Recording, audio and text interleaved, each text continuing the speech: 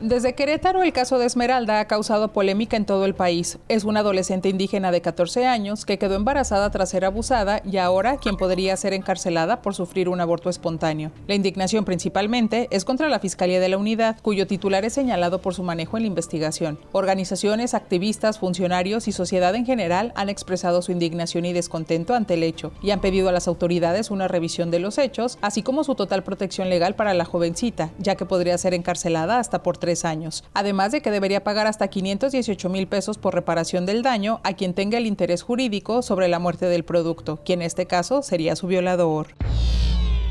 La Fiscalía de Michoacán informó que esta mañana fue asesinada a balazos Lisbeth Estela Romero Tafoya, directora de Seguridad Pública Municipal de Angamacutiro. Las investigaciones señalan que sujetos armados arribaron al domicilio particular de Romero Tafoya, tocaron la puerta y cuando la mando policial salió fue víctima de un atentado a tiros. Las autoridades indican que Lisbeth Romero murió de inmediato en la entrada de la vivienda en el centro de ese municipio, colindante con el estado de Guanajuato. El presidente municipal de Angamacutiro, Hermes Arnulfo Pacheco Vibriesca, informó a medios de comunicación locales que no tienen reportes de que la directora haya sido amenazada por algún grupo criminal.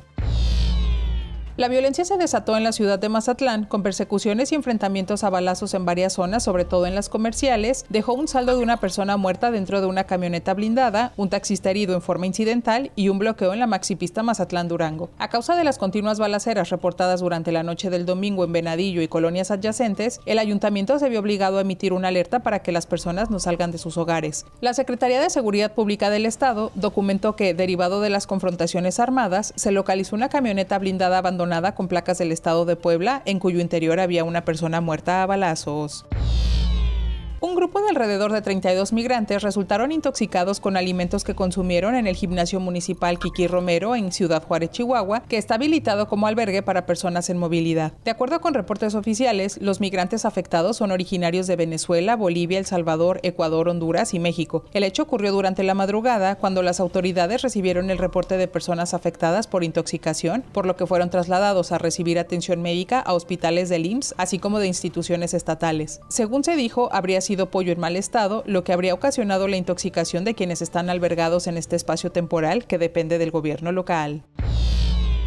La presidenta Claudia Sheinbaum Pardo informó que es falso que con el censo del programa Salud Casa por Casa se les quiera quitar la pensión a los adultos mayores, sino se busca un estudio socioeconómico y de salud sobre las personas. Justo ayer me informó Ariadna Montiel, sí están enviando mensajes de WhatsApp confundiendo con que queremos quitarle sus viviendas y es falso, falso, falso. Es un cuestionario para conocer la condición socioeconómica de las y los adultos mayores y su condición de salud. En la mañanera del pueblo, Sheinbaum Pardo explicó que es voluntario contestar el cuestionario y que todos los adultos adultos mayores van a recibir la visita casa por casa. Depende de las personas abrirles las puertas para poder ser atendidos.